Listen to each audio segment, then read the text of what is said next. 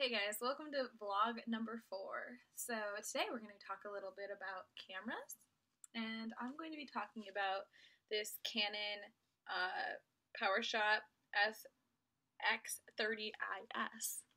Um, and we're going to talk about the different functions of this camera and uh, different terms that are related to camera usage. So first we're going to talk about focal length. So focal length is the distance uh, between the glass that makes up the lens um, and the image plane. So cameras are usually, the lenses and cameras are usually uh, measured in millimeters. So this particular camera um, is a 4.3 to 150.5 millimeter. And also this particular camera um, can also the 35 millimeter equivalent, um, which is 24 by 8, 40 millimeters. So the Canon PowerShot SX30IS is a wide angle camera.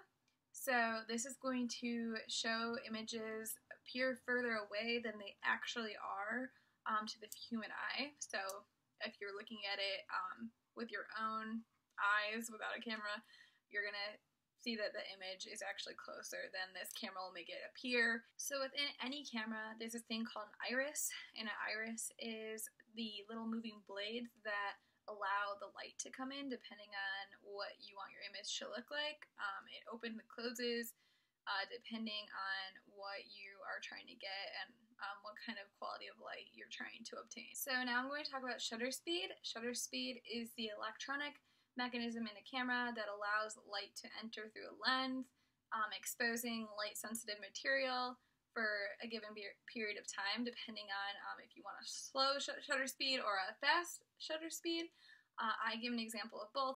When we attempted to show the shutter speed within the camera on the Canon uh, SX30IS, actually um, you can see when we try to slow it down, it actually gets really white because it was too bright um, to expose that image. So lastly, I'm going to talk about f-stops. So f-stops are the incremental settings on the lens that indicate how large the opening will be on the lens.